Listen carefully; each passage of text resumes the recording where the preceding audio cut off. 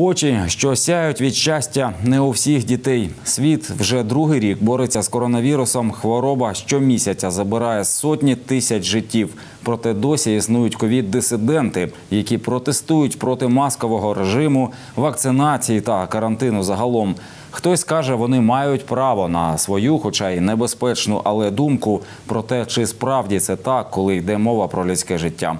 Ковід знищив цілу запорізьку родину. Двоє дітей, яким немає трьох років, залишилися сиротами. Про справжнє обличчя хвороби і як можна допомогти маленьким Катрусі та Ганні, розповість небайдужа Маргарита Безбородова у фабулі.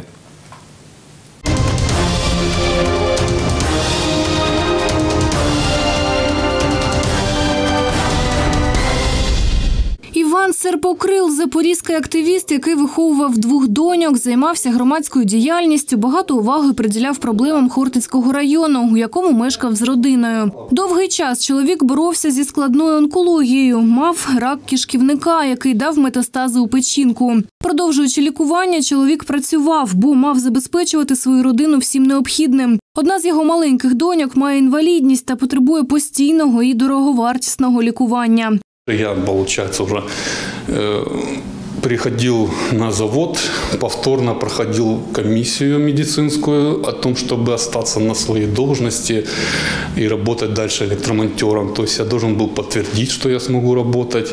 Это было очень проблематично, потому что я проходил две комиссии. Это ну, очень трудно. То есть ходить по кабинетам после лучевых терапий, люди поймут, что это очень трудно. Я даже был когда-то уже чуть ли не сознание терял. Його дружина Анастасія Серпокрил присвятила себе родині і постійно була з дівчатами Ганною та Катрусею. Остання має складний діагноз. У нас у ребенка диагноз синдром Веста. Это эпилептические судороги. А, У нас ДЦП. А, Мы сидим на, на противосудорожных препаратах, которые на, на данный момент оно не зарегистрировано, эти препараты в Украине. То есть их завозят, ну, собственно, нелегально.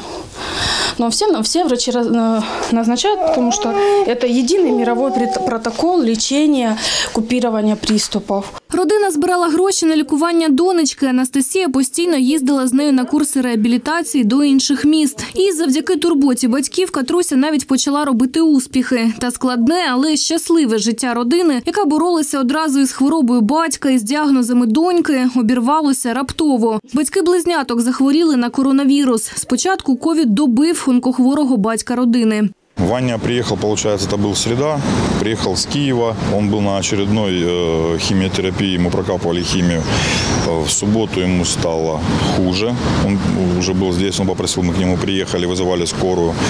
Э, Скорая приехала, остановила, у него было кровотечение открыто, остановили кровотечение. А В воскресенье в обед, опять-таки, ее позвонила его мама, сказала, что вызвали скорую, но скорая, когда приехала, уже констатировала смерть. Анастасія та донечка Катя захворіли практично одночасно з Іваном. З ковідного відділення мама додому не повернулася.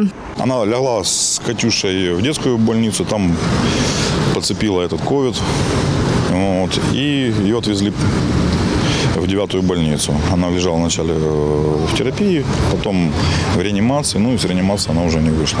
Через коронавірусні ускладнення термін, який ми всі звикли чути по декілька разів на день, вже не сприймаємо так серйозно. Діти залишилися без батька та матері. Рідний брат Анастасії Максим вже готує всі необхідні документи для оформлення опікунства над дівчатами, які залишилися круглими сиротами. Розповів, вони ще не зрозуміли, що відбулося, бо дуже маленькі. Двійнятам немає і трьох років. Ну, у них понимания нету, им по два с половиной года, там 2,7, да. На данный момент с Анютой все хорошо, она гуляет с няней, няня за ней присматривает.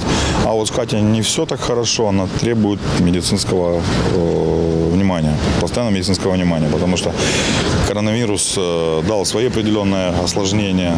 На данный момент там постоянная температура, она не может нормально э, спать, постоянно плач. Вот. Ну, медики решают этот вопрос.